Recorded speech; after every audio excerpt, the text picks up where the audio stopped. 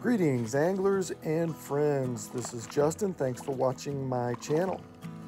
I wanted to offer to you a quick lake update for Baker Reservoir in southern Utah, just outside of the little town of Veyo. By the way, if you're passing through Veyo on a fishing trip, they are doing construction there, road construction.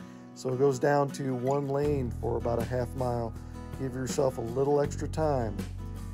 So this trip was on May 30th, 2023. And the consistent air temperatures, lows of yeah, in the 50s at night, up to 80 in the day. Water temps in the mid 60s. All of that will slowly rise as we get into the summer. And this trip was an unsuccessful, uh, rather lousy fishing trip, honestly. Started off trolling and trolled some small crankbaits, two laps around the lake pretty thoroughly, and had no bites at all.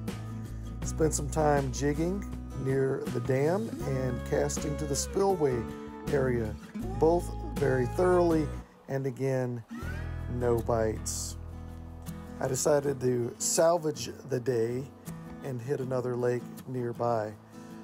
By the way, another small boat also I saw trolling, and from what I could see, they caught no fish and they also left early.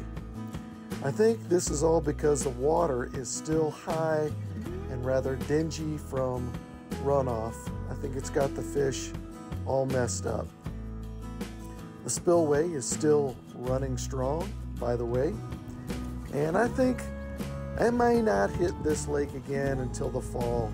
I'm going to wait for it to clear up a little bit, um, wait for the stocked fish to grow.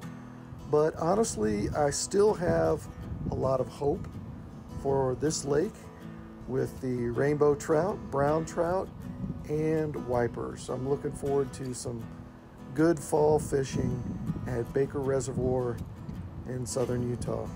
Till then, thanks for listening, thanks for watching, and tight lines.